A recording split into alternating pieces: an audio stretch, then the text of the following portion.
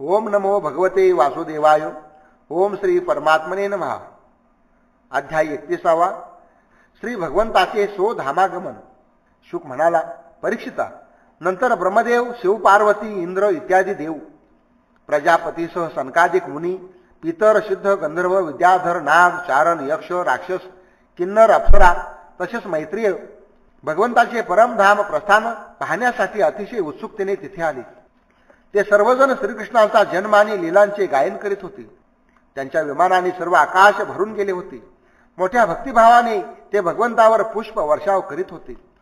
सर्वव्यापी भगवान श्रीकृष्णाने आपल्याच विभूती स्वरूप असलेल्या पितामह ब्रह्मदेव इत्यादींना पाहून स्वतःला आत्मस्वरूपात स्थिर केले आणि आपले कमळनेत्र बंद करून घेतले.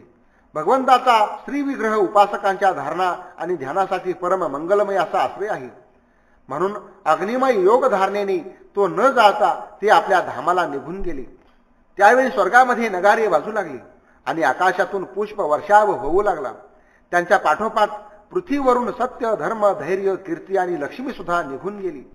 जेव्हा भगवान आपल्या धामामध्ये प्रवेश करू लागले तेव्हा ब्रह्मदेव इत्यादी देवसुद्धा मनालाही न कळणाऱ्या त्यांना पाहू शकले नाहीत.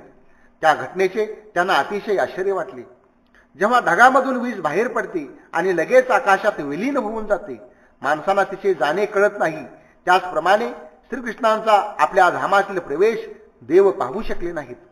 ब्रह्मदेव शंकर इत्यादी देव भगवंताची ही योगमय गती पाहून अत्यंत आश्चर्यचकित झाले आणि त्यांची स्तुती करीत आप आपल्या लोकी निघून गेले. परीक्षिता एखाद्या नटाप्रमाणे भगवंताचे मनुष्याप्रमाणे जन्म घेणे निरनिराळ्या लिला करणे व अंतर्धान पावणे हा सर्व त्यांनी मायेने केलेला अभिनय आहे. ते स्वतःच या जगाची निर्मिती करून त्यात प्रवेश करून विहार करतात आणि त्याचा संहार करून शेवटी आपल्या महिम्यातच राहतात.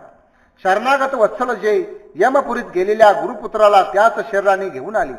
ब्रह्मास्त्राने जळालेले तुझे शरीर ज्याने जिवंत केले. काळाचा सुद्धा महाकाळ असलेल्या भगवान शंकराला ज्यांनी युद्धामध्ये जिंकले. स्वतःच्या अपराधी व्याधालाही ज्यांनी सदेह स्वर्गाला पाठवली. ते स्वतःच्या रक्षणाला असमर्थ होते काय? संपूर्ण जगाची उत्पत्ती स्थिती आणि संहाराचे असाधारण कारण व सर्व शक्तींना धारण करणारे भगवान आपले शरीर शिल्लक ठेवू इच्छित नव्हते. कारण आत्मनिष्ठ योग्याने मर्त्य शरीरात गुंतून न राहता आत्मस्वरूपात कसे राहावे याचा आदर्श त्यांना जगापुढे ठेवायचा होता. जो पुरुष प्रातकाळी उठून भगवान श्रीकृष्णांच्या परमधाम गमनाच्या या कथेचे एकाग्रतेने भक्तिपूर्वक कीर्तन करेल त्याला भगवंताचे तेच सर्वश्रेष्ठ परमपद प्राप्त होईल. इकडे दारू भगवान श्रीकृष्णांच्या विरहाने व्याकुळ होऊन द्वारकेला आला आणि त्याने वसुदेव व उग्रसेन याला साष्टांग नमस्कार घालून त्यांचे चरण आसरूने भिजवून टाकले. परीक्षिता त्याने यादवांच्या विनाशाचा सर्व व्रतांत सांगितला. तो ऐकून लोक अतिशय दुःखी झाले आणि काही शोकावेगाने मूर्छितही होऊन पडले. श्रीकृष्णांच्या वियोगाने व्याकुळ झालेले ते लोक कपाळ बडवून घेत जिथे त्यांचे बांधव निष्प्राण होऊन पडले होते तिथे तात्काळ जाऊन पोहोचले.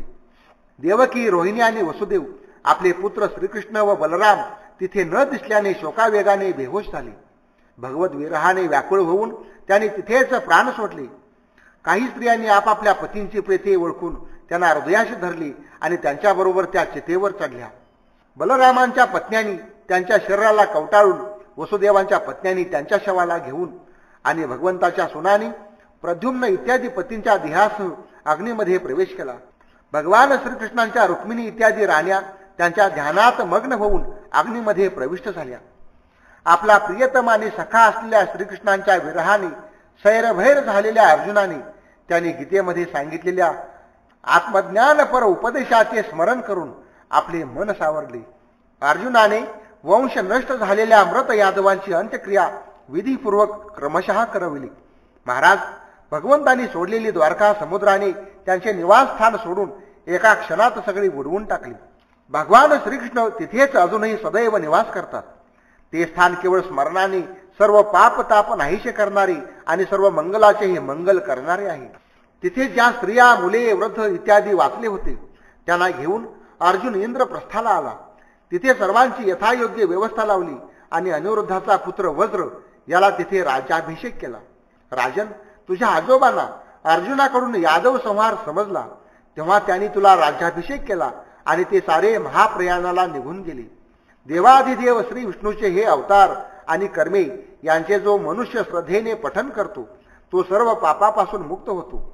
जो मनुष्य भगवान श्रीहरींचे असे सुंदर अवतार आणि अद्भुत लीला तशाच परमानंदमयी बाललीला ज्या इथे व अन्य पुराणात वर्णन केलेले आहेत त्यांचे श्रवण पठन करतो. तो परमहंसाचे अंतिम प्राप्तव्य असलेल्या श्रीकृष्णांची परमभक्ती प्राप्त करून घेतो. या ठिकाणी एकतीसावा अध्याय समाप्त झाला आणि अकरावा स्कंद सुद्धा समाप्त झाला. भगवान श्री कृष्णार्पण वस्तू.